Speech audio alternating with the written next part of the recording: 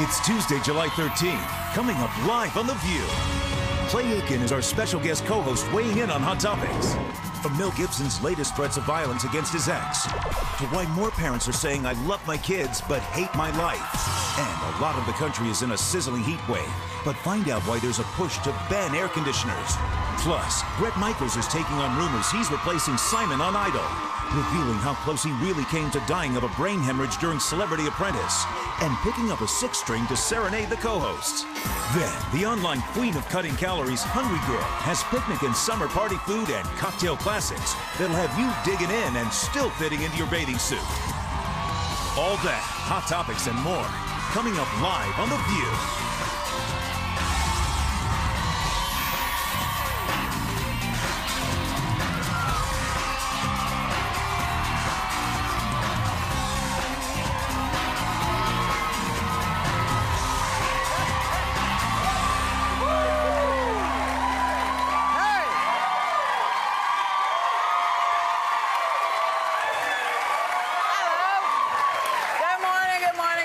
To The View joining us as guest co-host this morning. Please welcome the fabulous Clay Aiken. Yeah. Hey.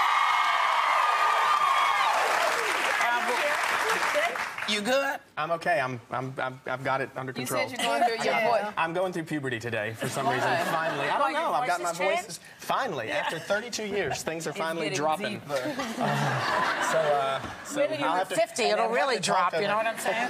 Having to talk over you ladies is going to be tough as it is. You can just sing over us. I'm just going to have to. Not today. Just not today. You don't want to hear this. We're glad you're here, well, thank Clay. You. My pleasure. Thank um, I have to inform y'all. It is the sad news uh, Yankees owner George Steinbrenner uh, has passed away at 80 years old. So we just wanted you all to know this, uh, and you know we wish his family just everything from our hearts. Yes. And you know it's the Yankees, it's yes. a New York franchise, and he's he was our wild. How long did you Yankee know Mr. Owner. Steinbrenner? I probably knew him probably since I became Whoopi Goldberg. Oh, because he came time. actually he came to my first Broadway show that so and it was you know like this because it was George Steinbrenner and it was the mm. Yankees and it was amazing he was he was quite a guy not you know didn't like him all the time but you know we don't like anybody all the time no, but God bless the dude because yeah. he he brought New York to many many good heights so we're talking about highs. Let's talk about some lows. I mean, some real lows. Yeah. Talk about jackassian behavior. Radar Online has released even more Mel Gibson alleged rants to his ex girlfriend. Here is some of it. You are hitting a woman with a child in her hands. You, what kind of man is that? Hitting a woman when she's holding a child in her hand, breaking her teeth twice in the face. What kind of man is that? Mm, oh, you're all angry now. You're gonna get to, you know what? You're gonna answer one day, boy. You're gonna answer. Huh? Bear. What? What? What are you Nothing. Me? Nothing. I'm not the one to threaten. I'm threatening. I'll put you in a rose garden. You. You understand that? Because I'm capable of it. You understand that? Get a restraining order. For what? What are you going to get a restraining order for? For me being drunk and disorderly? For hitting you? For what? Yeah, for hitting. I think those things qualify. yeah. as, as, yeah. This is like no, that was a major. I, sh- uh, it just keeps coming this guy is going to have a career now is if they find out Oksana is a Russian spy. That's all I can say. she missed her calling because she's good. This was, I mean, obviously, whatever transpired, she got him to somewhat admit to something there, right? And then she. She said she had a, a microphone in yeah, her diamond ear. She very clear. You well, know, like, yeah, do we we know that it's real, right? Directed. I, I, think we know that this is Mel. But what I was thinking was, you, when he I was just, married, it's insane. I think his first uh, wife's name was Robin. When he was married to Robin and he with the eight kids, like you never heard of a peep from Mel Gibson. I don't know if it's the, the, stability of marriage because there's obviously a problem. It did. It, it, started. You started hearing all these things when he separated from Robin. You know, being at the bar. For many, many years. And I'm saying, and you ne- for many years, and you kids. never ever yeah. heard anything like this from Mel Doesn't Gibson. Mean it necessarily didn't occur exactly. either. Yeah, you yeah, know, we don't know. No, we don't know. I mean, that's the craziest thing. We don't know, but this part we know. This is this is insane. This is as I tried to describe yesterday. It's you know, I, but I like the word Jack Asian because this is jackassian behavior. You know, this when is you, jackassian when you behavior. talk about people uh, being able to separate the art from the person, Mm-hmm. because you know he did uh, Passion of Christ, and I remember going to see Passion of Christ, and I was on the floor sobbing, uh, you know, thankful that Was this it man. that bad? No, it was Oh. that good. It was that good because the visual of what Jesus Christ went through to die for our sins, uh, it, just it was it hit me. It was so powerful, Mm. and I remember thinking, "Wow, Mel, thank you." For bringing the world this message in this movie. And so, to, and it, it saddens me because I was a big fan of Mel Gibson's to think that he is having these problems and he definitely he needs help. But, you know, when you try to separate the art Well, you know, the, the Christian person- organizations are silent on him now. You know, he was big in the Christian, the James Dobson, the Family Council Christian muckety muck. He backed him up when he did those anti-Semitic uh, rants. But now, I don't Well, know. I'm not silent. I'm praying for the Yeah, man I because mean, he's got a problem. He, I mean, does, and I think he does need definitely- prayers and a lot of Yeah, help. he And I, needs- I don't know if they'll be silent for long. And I don't think anyone is without redemption in terms of Christianity. So if he were to come and say, they're not look, backing him up right now No, because they're- they're how can you back up. up somebody who You can't. uses that kind of language against a woman? no, you of can't. course not. I mean, that, You the know, language alone is seemingly was that? abusive. When he, you know? and obviously, he, well, But he it's not, it's not practically the back. admits he I don't think in that anybody should be trying to back him up. You're trying to figure out what's going on with him. That's what you. I don't think you you, you let him go. You got to figure out what's going on. And can, can we help this person? no, It's- it's a this is this is beyond that now. yeah, this is no, there's no discussion of to- rehab because when you go to rehab, there's He's a chance that you therapy. I can. think he was He's going in to therapy. yeah. So you know, he's you know what? God, there. Thank God, none of us are going through it. Oh. Do you know what I mean? There, but for the grace of God, go we. And you know, I've gotten a lot of. Sorry. I wouldn't be in that position. I don't. I don't really identify But with maybe this at all. Maybe not that tip, particular position. Maybe position, not, but a maybe different- you wouldn't hit somebody and you wouldn't allow someone to hit you. That's right. You wouldn't tape somebody yelling at you on the phone. People tape I stuff. might. I mean, it's going on and I on would and do on. that. If I were in her position, I would have done the exact thing. She's smart to do that Frankly, because then I think it empowers No, the woman. would've There's some ways that you need to be empowered. take it to the police and say this is what's happening? Instead Why is it? tabloids. Why is it at the Radar. tab? See, this is the thing that bothers me, and I, I, it bothers me whenever anybody does it. If there's a beef. Take it to the cops, to the people who can take care of it, to release it Well, she has and a to- restraining order. Whoopi, But there's also, there's also, radar there's also, Why do they have these tapes? Well, that's Because my also- question. It's also reported too, and no one knows if this is true, that there was mm-hmm. money offered to her to not say anything that was going on. So you have to understand, money is also power and can be used as a weapon. and if he indeed was using it to try than to muffle her, Nobody knows right? that better than me. But if somebody's kicking your behind Sure. and punching you in the face while you're holding your kid, and you don't go to the cops first, you go to radar online. But she has. But she did go. I'm a little scared of you right now. I'm gonna have to. I'm scared. I'm gonna have to move on. She did, she did get a New restraining tapes were order. Just released not this she morning. didn't cover herself. She got a restraining But order. when did she get the restraining order? and how long I- are these? I ta- you know, this is, this is She too- from We're June. gonna find out because Yes. it's all going to be in a police report pretty yes, soon. that's what I'm waiting for for. public But here's the crazier thing. Here's something even more interesting. The Pentagon sent a survey to 400,000 service members asking questions like how they would feel about sharing barracks and showers with openly gay soldiers. If they don't ask, don't tell, if it's the law is repealed, they say it will not it will not lead to segregation. It's not I don't It's even not like the word segregation. I think just when you, you you know segregation in any form is just I don't think it's a good idea. I think the general Don't we problem have it with with the men and women's laboratories now? Not in some places. Well, we're not, Just saying. you know, we're not, not talking about different there. genders, No, I mean, though. I'm just saying Yeah. we can get as detailed as we want. It is, it does occur. The still. issue, I think, the Yeah. issue for me with the survey is not that it not that it asks questions about Mm-hmm. people's opinions, but more that it instead of saying, you know, how would you feel about repealing Mm-hmm. "Don't Ask, Don't Tell," they specifically say things like, how would you feel about showering with someone who's homosexual? How would you feel? Which which is kind of a leading question in my opinion. Well, it also sort of sets up yeah. sort of stereotypes Right. because people sort of feel like, you know, the stereotype of, of a gay man in a shower is. But let's You be know, real too. not- No, but let's, be, let's be real. Don't they do this at every health club in America? Yeah, you but go you don't into know a it. shower, you don't know who's gay and who's But straight that's- that goes along with the don't ask, don't tell. I'm wondering would they have a, a counseling for uh, people to because when you go into a shower, I'm thinking you don't know. you need to be counseled to take a shower. I think No. let's, let's be real here. No. Aside, aside from stereotypes, right? Yeah. Aside from the, the idea that we're having about the shower, the, the practical reality is that they are going to be showering, they are going to be in close quarters, and why not get information from the people who this is most uh, intimately going to affect. then- Why not get not the gonna- information and then see how they're going to react? It's going not to going to affect anybody. It's not going to affect anybody. What's going to be affected is the fact that there are people who are willing to die for this country. Yes, of It shouldn't matter what their sexual orientation is. It orientation should not, is. but they need to know but, if it but does. interestingly enough, you know, my brother is a Marine, Right. and uh, and he is extremely um, accepting of, of uh, you know, gay marriage and gay rights. Mm-hmm. But uh, as a Marine, he is not thrilled with. Uh, Why with- not? I, I, I'm not exactly sure. I need to talk This to him is about why it. a they're having bit. a survey. This is why they're having the It's survey, probably though. the unknown factor of it. You know, it works in Israel, it works in other countries. There's a lots of all the integrated, etc. But so it, it's about not knowing yet. Yeah, but you you know, know, people in this country have become so familiar with gays now because of television that I think it's easing the burden. white students- I you asked white students- Like- You asked white students Yeah. in the 1960s if they wanted to have black students in their school. Most of them would have said no. That's right. So Right. it doesn't So mean that it's I- right. So yeah, why do we But I'm saying for your brother, for your brother who says I have a problem, I'm going. Does he need to to, to talk to somebody to go? It's not. It's not a problem. That's fine. It's, he needs there's to. no he definitely problem needs to talk to it. somebody. But And that that's audience, was- that, that group doesn't need to necessarily make the decision to mm-hmm. persecute or exclude And somebody. there, there are also many. I have a good dear friend who was an Army Ranger for years. Okay, he's done three tours. He said that one of his best shooters was a gay man.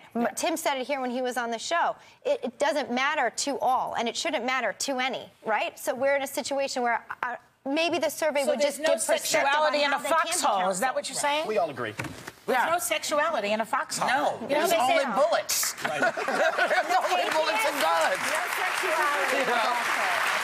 So, I'm so glad we learned that because the next time that it comes up, we'll know that we shouldn't be, you know, kind of trying to decide who's gay and who's not, and who's black and who's not, and it's just a whole thing. Okay. We run around So- with no clothes in front of each other all the time oh, here. What Well, have I missed? I mean, huh? I missed that. I, I- and I'm going to have pictures next time we come back. when we come back, we're coming back with more hot topics.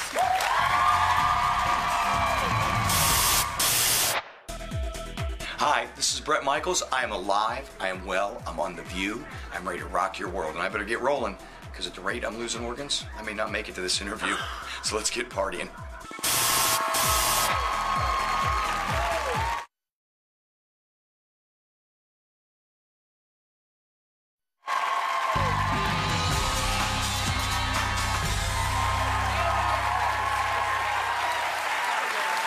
The new Time magazine sets out to debunk the myth that only children are selfish and self-centered, citing study after study that shows extra parental attention does not lead to spoiled children.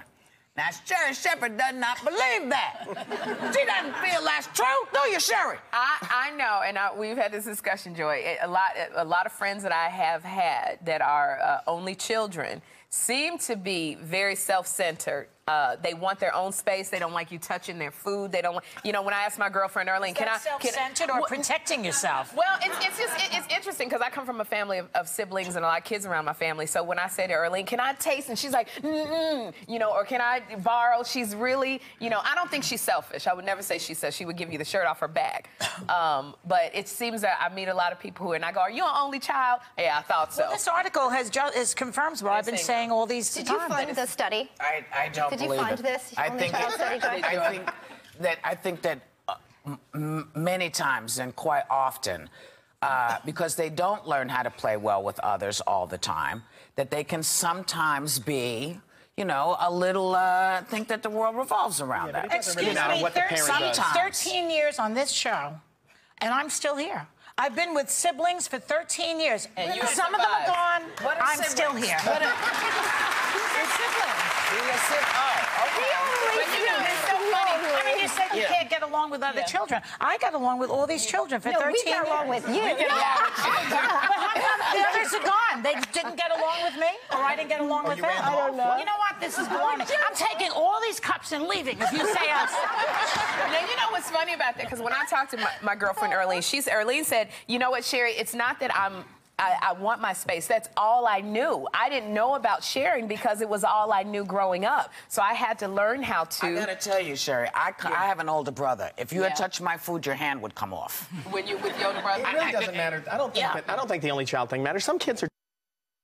It doesn't really matter whether or not they're. So it doesn't really matter. It doesn't really. What? It's the truth.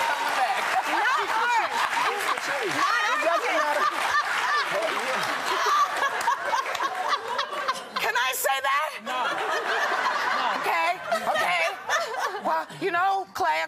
A psychiatrist who wrote an article for the New York Times. The parents of mean or bratty children shouldn't necessarily blame their bad parenting. Oh. Sometimes kids are just rotten. It's nice flying with you today. And uh, New York Magazine has a, a really interesting article also, uh, which tries to figure out why more and more parents are saying, I love my kids, I hate my life. Now, I don't know how you guys feel, but do you agree that having kids uh, makes parents less happy? Well, they say that it's uh, uh, more is not more, less is more. Uh, that you the more children you have, the more diminished your happiness will be. I, don't, I disagree with that, but I, what I do agree with is that the fact I do think that more parents are trying to be happy because everyone is telling us how to be happy and how to be parents and that we don't know how to do this and how to mince your kids' food, as if we're not born instinctively to know what to do. This is what we're created to be. We're created to be with one another and as parents, yet we have a million publications telling us we don't know jack about it. You know, the way I was raised, and a, a lot of uh, people that I know, was in an environment of don't don't don't do don't do what I say. Do what whatever you know. Do Yes, do, exactly. do what I say. Yes, I not say what what I I do. do. You do it do it because I said do it. Now sit down. And and, and now I'm in a culture raising my son where he sits on the couch and I explain to him. I look at these things as teachable moments. That's tiring, and I realize that's a lot of work. Now one day they said just do Can what I, I- said. I have Go to- do can it. I just- It takes a lot less I have to say, I have to say to you, Shay, keep in mind that at three, your explanation may not make any sense to him. Because at three, they're like, I want to pee. But you know, I I- want to, I want to bite that wall. So sometimes there are some things. Yeah, my kind of kid, three-year-old you? my kid used to like to bite the wall. Oh, really? You know, I, know, no, I, agree, I agree with you, you but now Jeffrey's five and he's asking questions and he's saying to me, "Mommy, I'm mm-hmm. grumpy. Mommy, I'm, I'm ignore him. angry with you." And now I didn't get to say to my parents, "I'm mad at you." That, that that would never have come out my mouth. Now my son says, "Mommy, I'm angry with you," and I sit down and I go, "Jeffrey, why are you angry? Good Let's talk you. about." That's and I'm saying a lot of times I think as parents we're, It now trying to do that. We're trying to have these teachable Takes a moments, lot of time and to it's be exhausted Yeah. rather than saying, I, "You, You know know, what? because that's what I know." That is why We God grew up- invented Dr. Spock. gra- grandparents. That's why God invented No, grandparents. no, as a grandparent, let me You- tell you you what happens with, with your kids when they have their kids. You go to try to help, they know everything. they don't want to hear from you. Yeah, that's true. Suddenly, That's the new- the new they grandkids. just had a baby, and she knows how to raise the child, do everything. So anything you have to say is like a drag until they want to go out. Then they need a babysitter. They need a babysitter. You know? That's when you give them all the wisdom. That's right. You get on them. And you know what? We're going out right now. We'll be right back with more hot topics. Ah,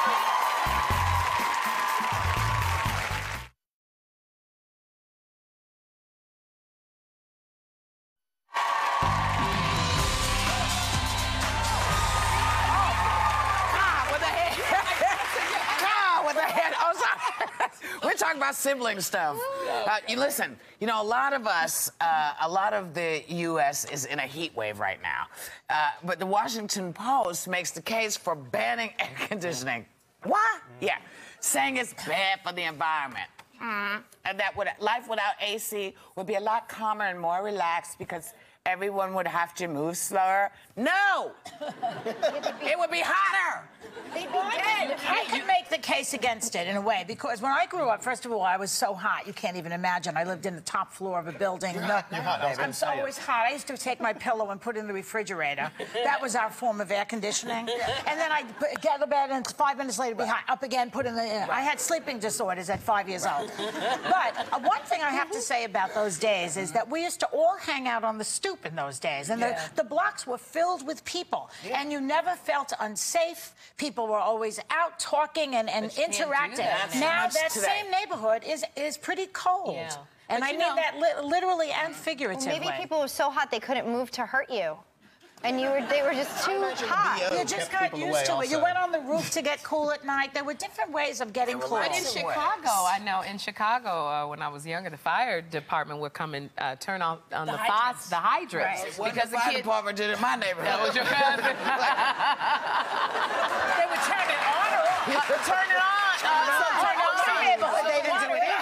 But like you said, but I think when it's un, when like when you're talking about a heat wave and it's uncharacteristically hot and the temperature hits a certain level, you always hear about in a heat wave that elderly people are dying. they- they I should think- have it. I think the city should. I don't know if they should give some kind of credit or take it on because it gets really hot and some people get it. I know with They Jeffrey, can't we, afford we can't do fans yeah. with Jeffrey because of mm-hmm. his allergies, all the mm-hmm. dust that's spreading, and it gets hot in New York. I It put does. the air on. But it's nowhere on all the the time in New York City. Everybody has it on 24 Because when you turn it off, it's like you're wading through this heat. I mean, your body is sap. It's Look, It so also takes menopausal, more- you turn that air conditioning off, I'm taking you out. That's the other thing. But wait, hold up, hold up. Now you don't have to be to do what Sherri did. Sherri went somewhere, and what happened? I was walking in my five-inch heels at a restaurant, and I wiped out and fell. What does that mean? I, I, I oh, fell in my You fell high- down? I fell down on the In floor your high on my butt. On your behind? In, in a restaurant full of people. Uh-huh. Do you know I'm sitting here tweeting about the fact that I wiped out and so much for trying to be cute. I noticed my followers. One goes, "Hey, I'm at the restaurant. Sherri Shepherd just fell. Is she okay?" on my Twitter. I mean, they didn't come over and say, "Are you okay?" They tweeted. But wait, wait, wait. Is she okay? So, so let me get this.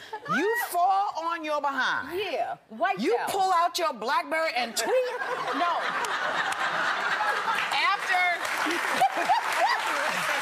I don't- I don't. After, date picked me up and we walked to the table, Oh, that was I my see. first thing. It wasn't get the manager. It was let me tweet about this. Right, But he tweeted too, and I tell. And but thank you. He came over to see how I was because I tweeted back. My butt is hurting, so come see how I'm doing. but I just think it's so viral now. We the, the personal touch. I think. It's beautiful. Well, what would you have yelled? I fell on my butt and I can't get up. we'll be right back with Bret Michaels.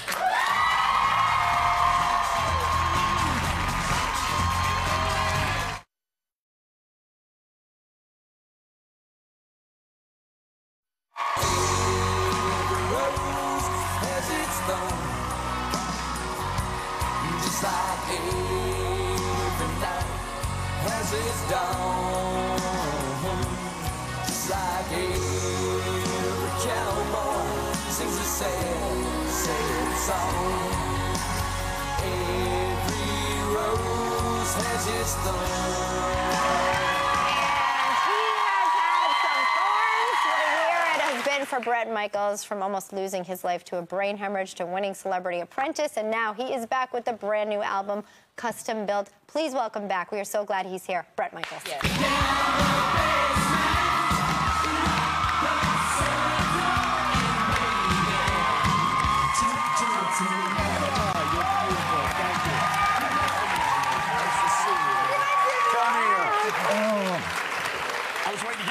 stuff. Come on. Good. How are you doing? Hi, hon. Whoopi, great to see you. Good to see you. And I'm with you with the air conditioning. They pull my air conditioning, I'm out. That's it. We're gone. There's no AC. We're out Yeah, of here. You're a fighter, man. I don't believe it. Uh, Bret, I mean, okay, let's go back to April because we are so thankful that you're here. You were here not too long Thank ago, but a lot has happened in between. You went in for an emergency appendectomy, and what? uh, Just under two weeks after that, you had a brain hemorrhage. Yeah, I was in- almost took your life. Yeah, I was in San Antonio. I felt great, and Yeah. uh, and just like most of my life, like the Tonys when I got knocked out, I felt great right up until the board hit me in the head. And uh, you know, this is the best day, and then I'm out cold. And then and then monkey-like wing creatures were picking me up from Shrek or whatever. I didn't even know what play they were from, but that's the truth, right? So uh, here I am, San Antonio. Uh, I feel great. We're ready to play down there at the amphitheater. Yeah. And uh, appendectomy, I went in, uh, emergency appendectomy because I fought it all day long. I thought I had a stomach flu, Right. um, which was a uh, which was a great thing for me to know because here's what happened. The night I was sitting there, I was sitting on my couch like this, just flipping through. I'd put my two daughters to bed. Kristi was back there laying with the girls and flipping through TV. Next thing I know, there was no lead up whatsoever. It just exploded. And I didn't know it was a hemorrhage. I didn't know. I mean, in a million years, never thought that would But happen, most right? people would think, okay, migraine, headache, I'm going to go to bed and sleep it no, off. it's it, the way it popped. It was a, it was a sound sound like a gunshot. Okay. They call it a thunderclap, is So what you it's knew called. something. It went boom, and I was like, okay, and your neck muscle spasm, and as soon as they, sp- you can't move. Your you know your Well, speech oh, is so you slurred. knew. Your Wow. face is. So you it- knew. I knew something was wrong. Okay. We have a picture of you in the hospital. And um, Am I naked? What's with well, but the the doctor. bandana? Everywhere you go, even under surgery, you're wearing this thing on your head. He did. He has the glasses. That's right. You got Madonna your, has the comb boobies. yeah, you got your I got the bandana. bandana, I We know it. you for that bandana. That is you. But the doctor said that a huge part of your recovery, Bret, uh, because we're all praying for you. The huge part of your recovery was your will. Did you just always know I'm going to make it through?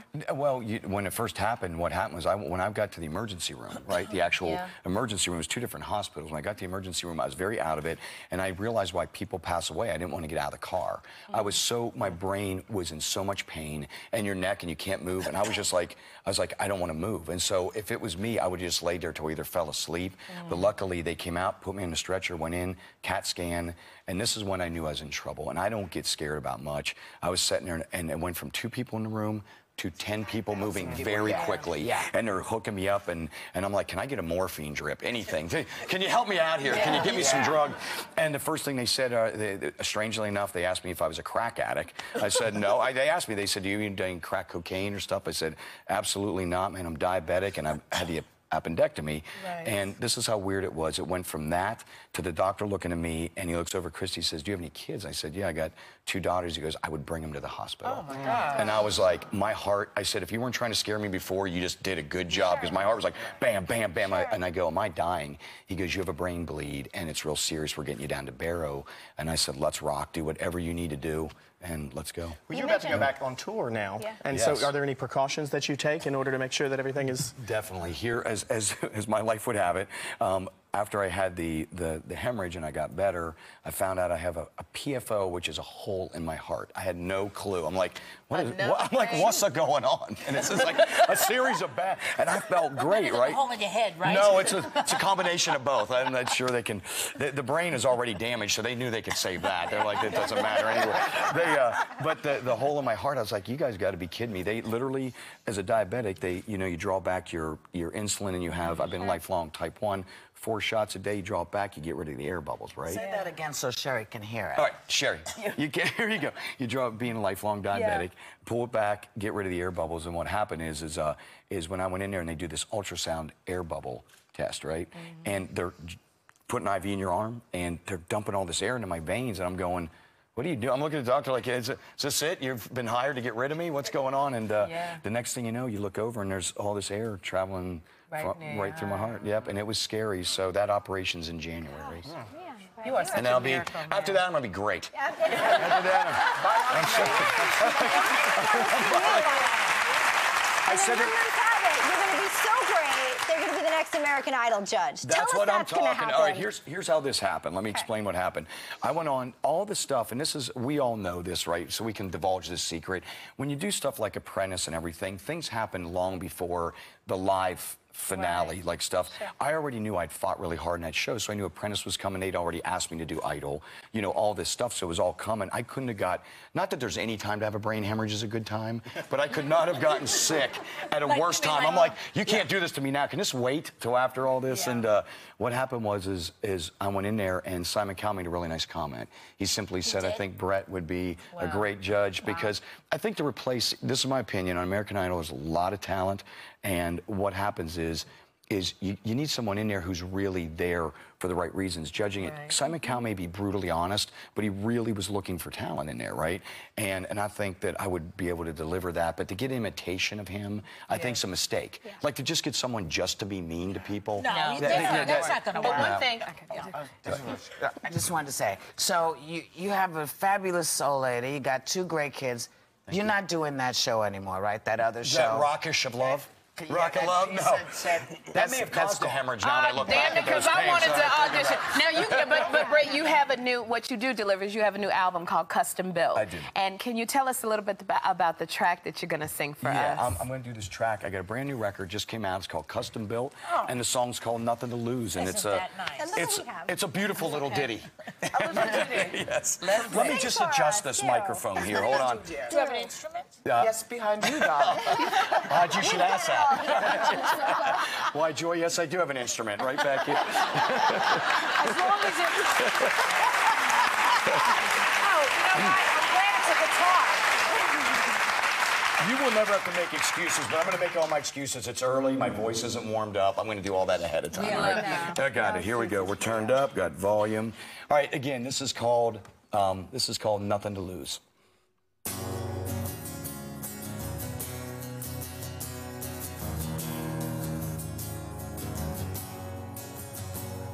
She stares in the mirror.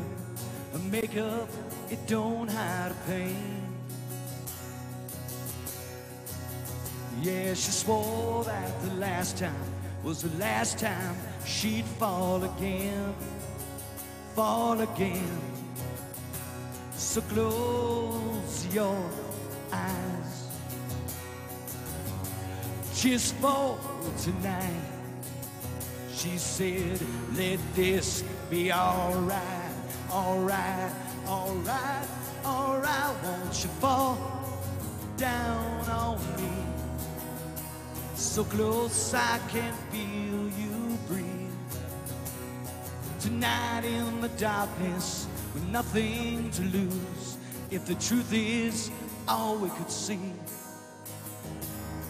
if I fall for you. Could you fall for me?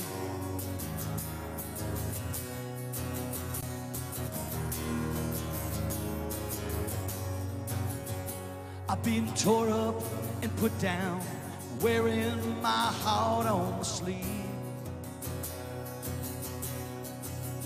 Yeah, those scars that you wear, well, I got them too. Can't you see? Can't you see? Yeah, we both know better than this. Still, we can't resist. Slowly get undressed. Yeah, she does. Won't you fall down on me? So close I can feel you breathe. Tonight in the darkness, with nothing to lose. If the truth is all we could see. If I fall for you, could you fall for me?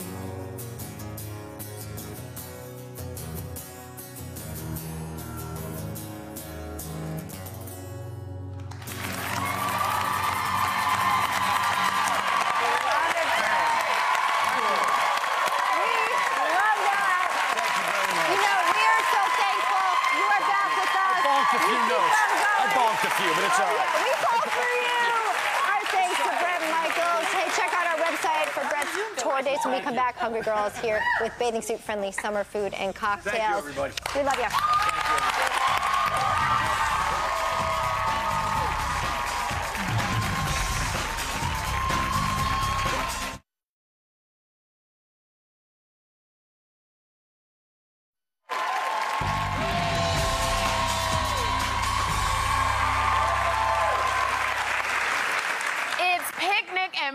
Party season, but all that food and drink can make you forget. It's also swimsuit season. So we're having a Hungry Girl happy hour with party food and cocktails that will not destroy your diet. Please welcome Hungry Girl herself, Lisa Lillien. Hey, Lisa. okay, girl. So I don't know what it is about this season. It's barbecues, it's drinking, it's the hot dogs and everything. What is it about this a summer season that just screams, let's eat and gain weight? You know what? You're always outside, and you think if you're out at a pool and you're drinking that the calories don't count, or that if you're standing up, the calories don't count. That is just not true. So all those calories count, and there's so much food and so much temptation. But you can make foods that taste exactly like the real thing that have a fraction of the fat and I'm not believing you. Believe it. Are you ready to chew I'm, things? okay, I'm ready to. Let's okay. see. These are pigs in a blanket. I call Okay. them deep pudged pigs in a blanket because regular ones have about 70 calories and they're loaded with fat. You can eat four of these for 135 Are you calories. you like pigs in So a it's not because they're smaller that they're It's uh, not lower because they're smaller, it's because of the magical ingredients. Now, these use a 97%. What's your oh, ingredient? Whoopi likes a hot dog. Two ingredients. So easy. You like this? But not the regular. Oh, she's taking She's this gonna take the train. what? What's in this? These are What's in the pigs in a blanket that makes it low calorie? 97% fat-free hot dogs. I like these the best, the Hebrew National, and then the reduced fat crescent roll dough, and that is it. They taste the same. Two things. They taste the same. Taste they the taste same. great. Especially when Okay. you smother them with ketchup.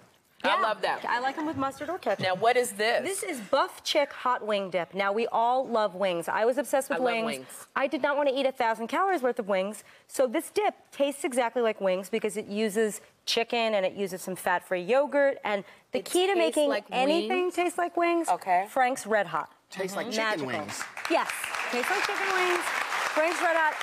This has 68 calories for a quarter cup. And Is this hardly Greek any yogurt fat. in here? It's some Greek yogurt, which I love. This Fage Total 0% is so good. Okay. And believe it or not, it uses canned chicken, which I used to be afraid of, but it's really good. Um, Is that too much for you, Clay? Oh, black no, I pepper. think it does taste like wings. I'm tastes actually exactly like wings. I'm starting to believe you. Okay, Good. Then we're getting somewhere. Oh, now look at this woman. Come on. It's hot. It's spicy. Look at her.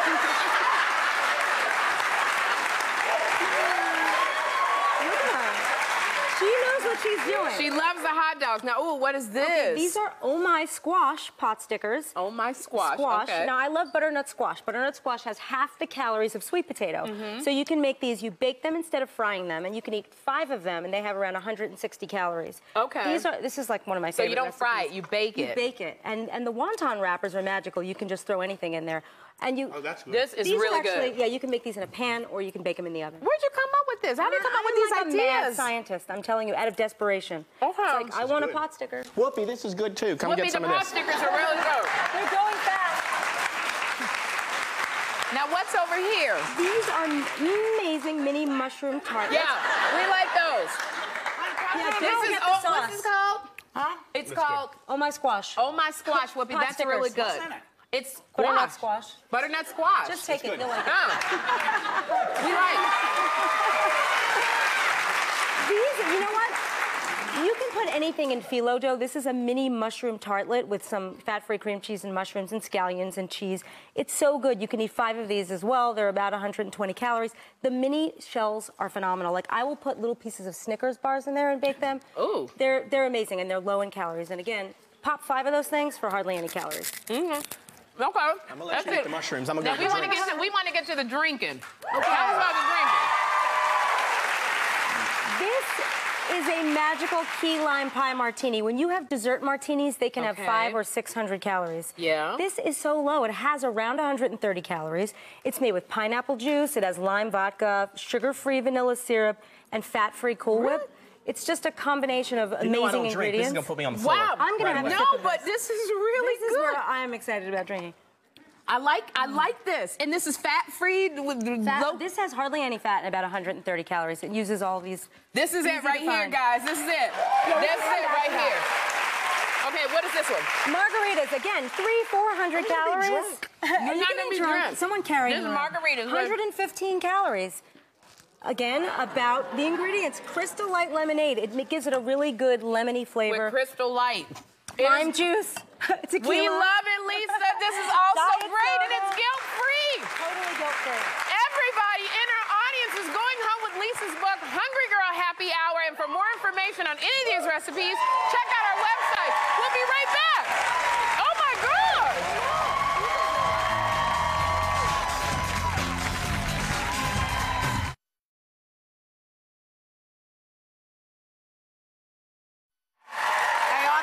Clay Aiken for co-hosting. He's going to be heading out on tour with Ruben Studdard, kicking it off in Asheville, North Carolina on July 23rd. Take a little time to enjoy it. What is that? That is a mudslide